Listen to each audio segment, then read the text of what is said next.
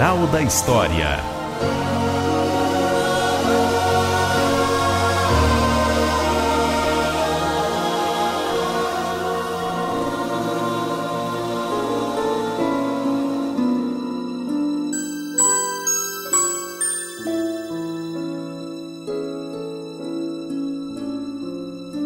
Era uma vez um homem chamado Luiz, que aos 20 anos se casou com uma mulher linda e apaixonada, Laura. Os dois viveram muito felizes e tiveram um filho único. Com muito esforço, Luiz e Laura educaram o filho da melhor maneira possível, ensinando o lado certo da vida, os valores cristãos. Luiz e Laura sempre trabalharam muito, oferecendo o melhor para o seu filho. Ele estudou nas melhores escolas da cidade, cursou faculdade, teve e fez tudo o que quis. Quando Luiz completou 50 anos, seu filho já estava formado. O rapaz saíra de casa para viver a sua própria vida. E Luiz acabou ficando sozinho com sua esposa Laura. Mesmo distante, seguindo seu caminho, o filho sempre ia visitar os pais, ver se estava tudo bem. Mas o tempo passou. Quando Luiz completou 55 anos, sua amada esposa Laura adoeceu e faleceu em pouco tempo. A morte de Laura foi o início da grande infelicidade na vida de Luiz. Ele acabou vivendo o que jamais um dia imaginou. Apesar de sempre ter procurado dar uma boa formação para o seu filho, para que ele nunca se esquecesse dos pais, depois da morte de Laura, o filho começou a visitar menos o pai. Se afastou pouco a pouco. Ligava de vez em quando, mas não queria papo. Uma vez, Luiz chegou a ligar para a casa do filho e quem atendeu foi sua nora. Ela parecia não querer muito papo. Luiz ainda falou que não estava muito bem de saúde, que precisava ir ao médico e, e que necessitava falar com seu filho, precisava da sua ajuda. Mas a Nora foi logo falando: Olha, senhor Luiz, seu filho não está e nós andamos muito ocupados. É melhor o senhor não ligar mais pra gente. Ao escutar aquelas palavras, Luiz ficou arrasado. Foi o caos. Ele resolveu chamar uma ambulância. Quando o som da sirene se aproximava, Luiz sentia a infelicidade chegando junto.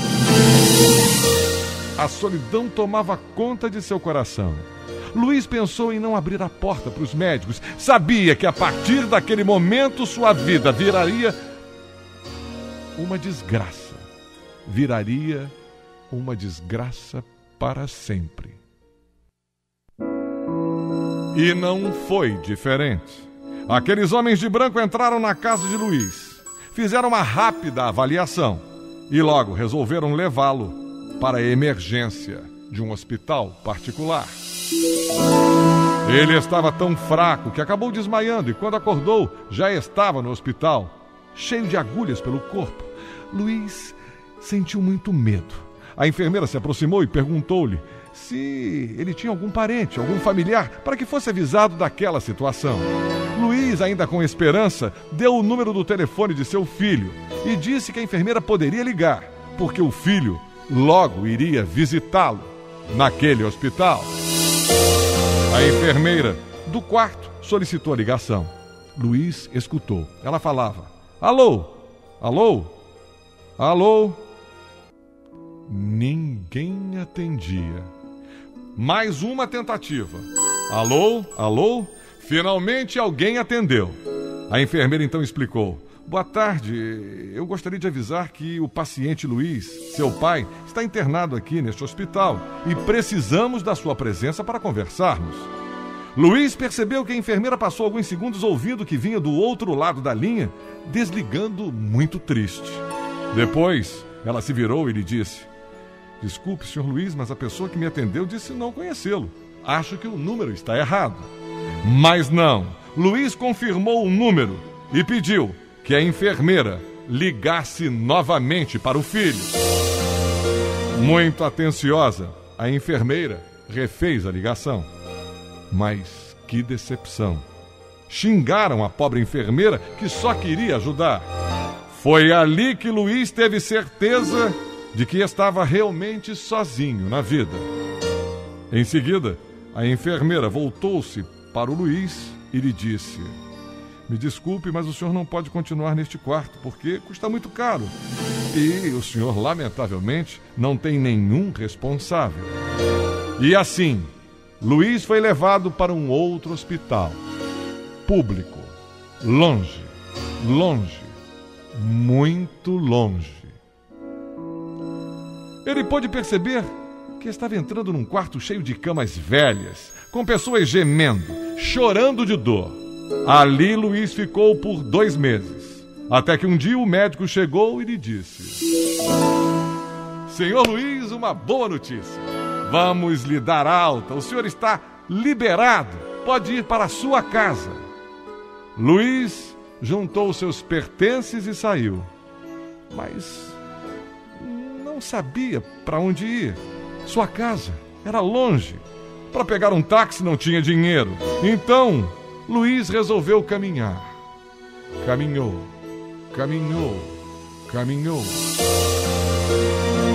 Naquela noite, Luiz dormiu no primeiro viaduto que encontrou.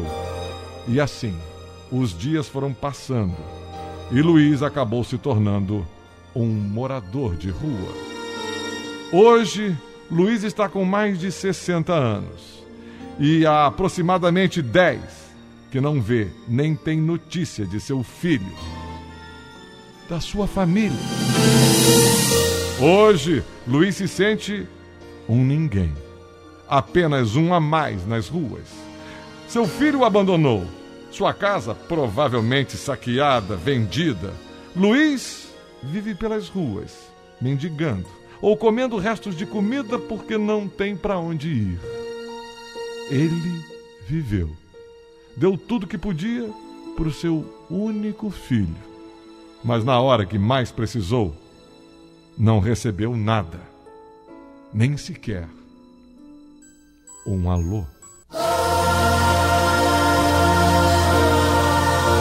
Moral da história.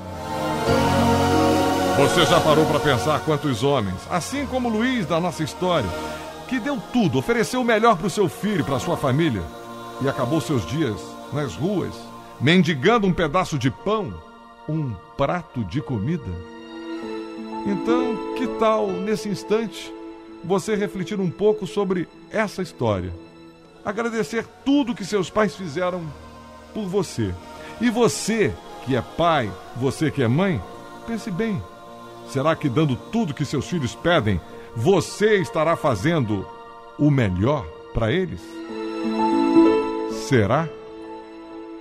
Pense nisso.